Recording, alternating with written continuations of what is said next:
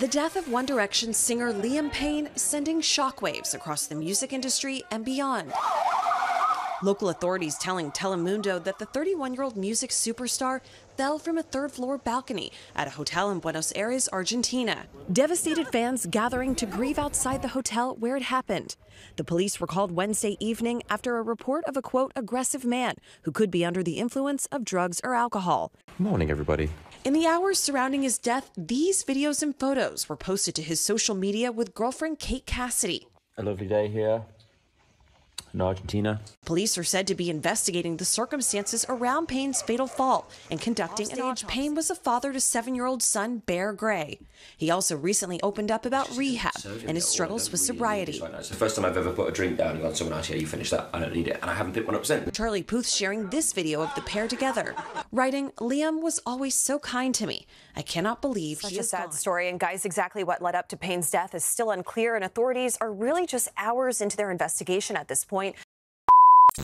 Hey guys, so if you haven't been living under a rock, you've heard about the tragic death of Liam Payne. And just in case you don't know who Liam Payne is, he is one of the members of the band one Direction, and uh, at some point he was like the lead singer of One Direction, and One Direction at some point was a global phenomenon.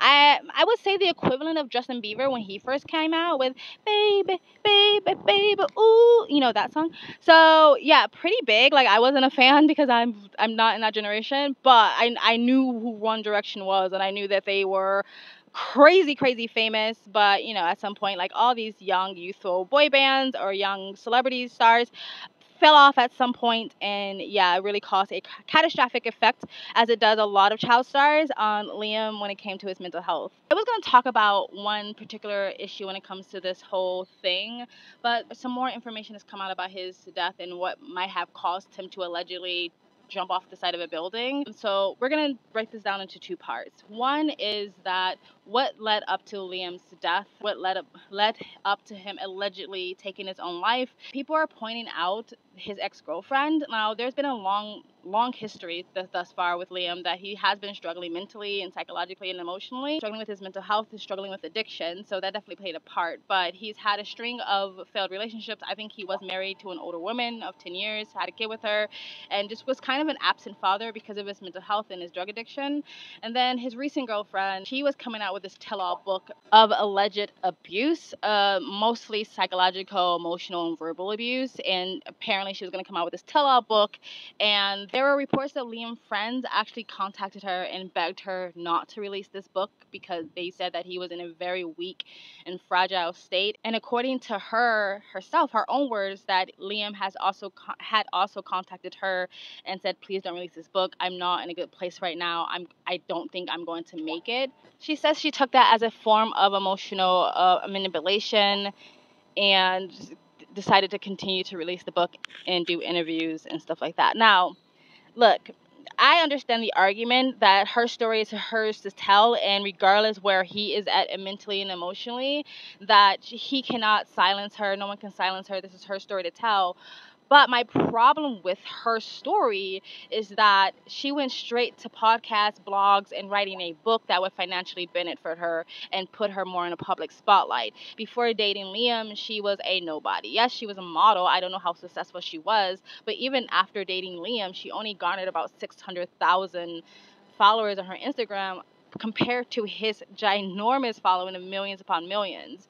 So this book and the public the public platform would have more benefited her and greatly damaged him. So for me, if you are being abused, I I'm pro victim, but I'm also pro evidence and receipts. And she released this tell-all book. Apparently, she even went back and and and, and edited and said that it's half tell-all, half fiction. That this is fictional. That she basically changed all the names and even though she's going on these podcasts, hint, hint, the name change doesn't matter. I'm still talking about Liam.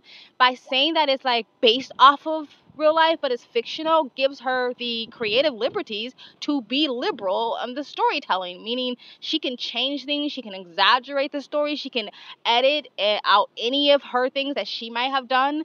And so it's really kind of fucked up in a lot of ways. Because again, this is not the entire truth because it's fictional based off of truth right? According to her, she has absolutely zero receipts whatsoever of, of any abuse besides maybe his history of having mental health problems and drug addiction.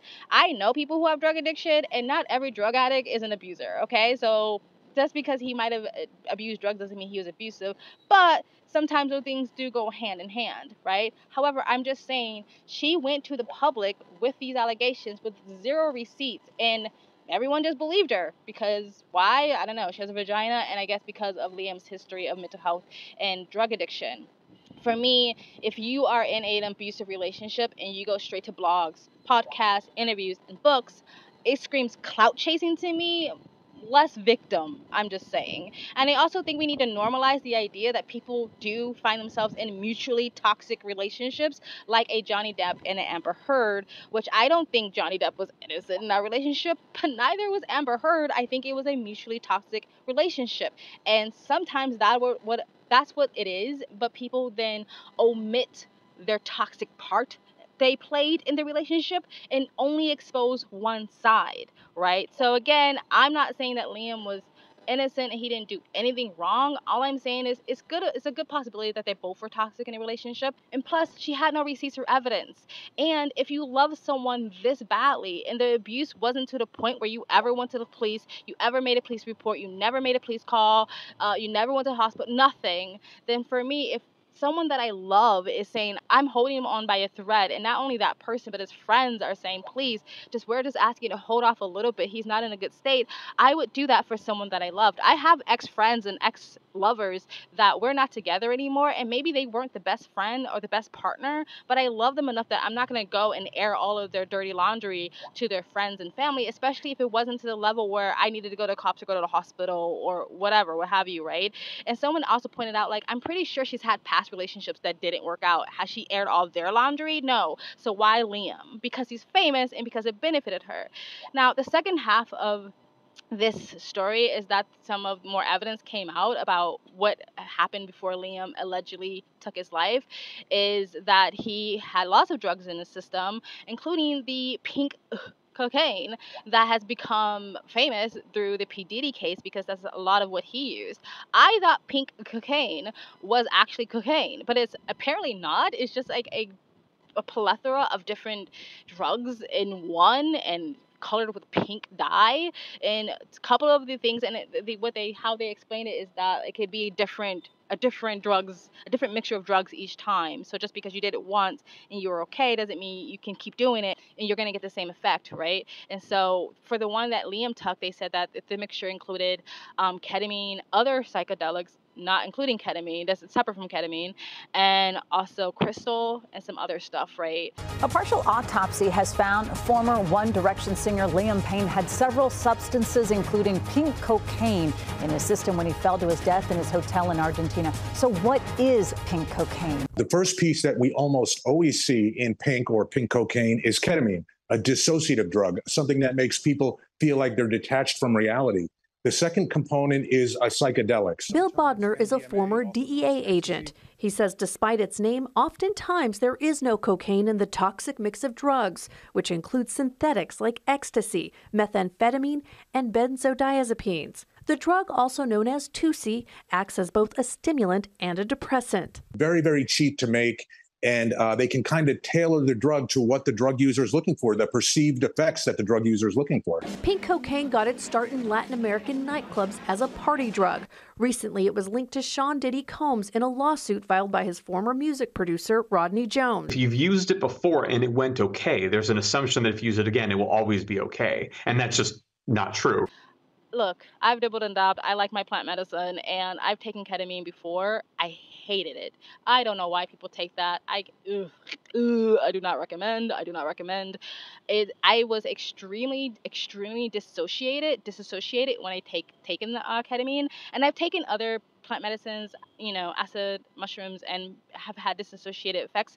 That doesn't bother me actually, but this was like I've never felt this amount of disassociation before in my life. Like I didn't even feel like a human being anymore. Like it was weird. I didn't like it. I hated it. Ugh, do not recommend. And so they didn't mention that in the report that this is, you know, extreme dissociation.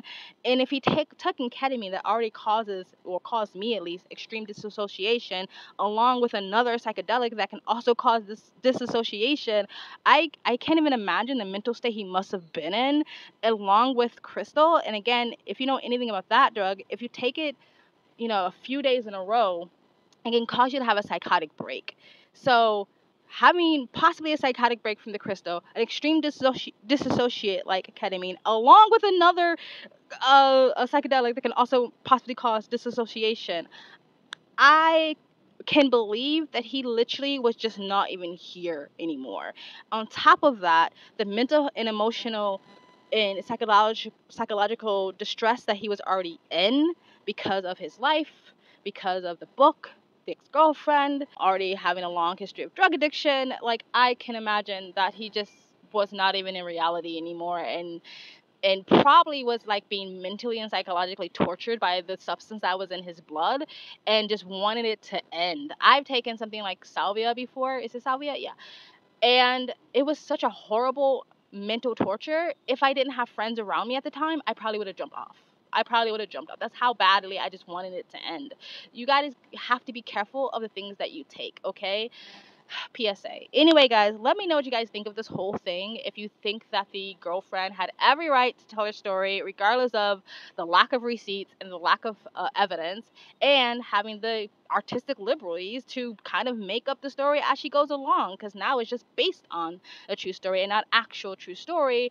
Do you think the public needs to be more responsible in their reactions when people come out with stuff like this and say, hey, we're horribly sad for you if that happened, but we're going to wait on our response till we see a bit more evidence and receipts? Do you side eyed her the fact that she never went to the cops, never made a police report? There's no other evidence, there's no other friends who can back this up. She just went straight to the podcast interviews and a book. This scream clout chasing, or did this scream like a woman who just wanted to tell her story? And what do you think about the whole like pink cocaine? Um, have you tried it? Would you ever try it? Let me know in the comment section down below. Please like, comment, and subscribe. Hit the bell to get the notification when I do upload. All that really does help with the algorithm, guys. As you know, my channel is extremely extremely uh, shadow banned, especially my long form videos. So liking, comment, and sharing really does help. And if you want to support the channel further, you can donate. My PayPal and Cash App link is in the comment section down below, or you can super thanks. And you guys have an amazing, beautiful day. Bye. The death of One Direction singer Liam Payne sending shockwaves across the music industry and beyond. Local authorities telling Telemundo.